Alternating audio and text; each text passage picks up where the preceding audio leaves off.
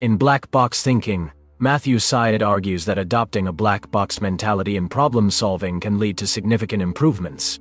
He draws parallels between the aviation industry's approach to safety and other fields, such as sports and business. In aviation, pilots are encouraged to report even minor incidents without fear of blame, enabling engineers to analyze the black box flight data recorder and implement changes. This culture of transparency and learning has led to an extraordinary safety record.